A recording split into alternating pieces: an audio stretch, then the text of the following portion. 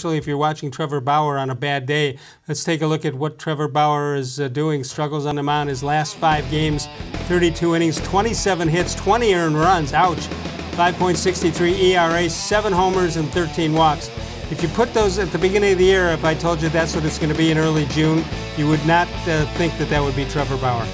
No, and and, and really, you know, last year, last year I don't think he even had one bad game or even Right. a, a bad couple innings. So, you know, maybe we're a little bit spoiled by that. But yeah, that's a that's a pretty uh, grim line to this he- point in the season. He had said he should he should he was going to be the uh, Cy Young Award winner last year. He had a good argument till he got I, hurt. yeah, I, I thought he, he would have been. Yeah, he, he just kept reeling off those starts one right after another. All right, we asked our uh, Facebook uh, view, viewers and followers to uh, uh, respond to the question Should the Indians trade the key pieces to strengthen their wild card run for this year?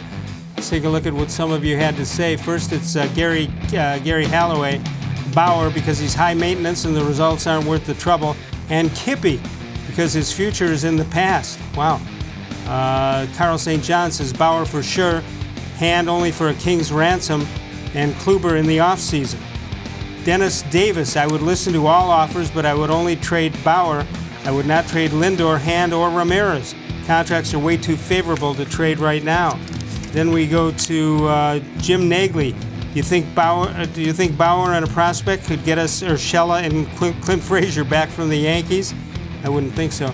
Gerard Morelli. No, they would be competing with Boston, who will spend money. You do it to make the team better for next year. Glenn Berger says, I'm not interested in the wild card.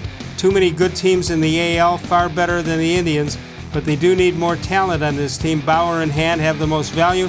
Trade Bauer for outfield help and keep Hand. And Denny Foreman, or Danny Foreman says, Francona would be my choice. Get rid of him. He fell asleep in the dugout on Sunday. He did? Now that would be news. Yeah, I don't, I don't know where that I didn't see from. that. No.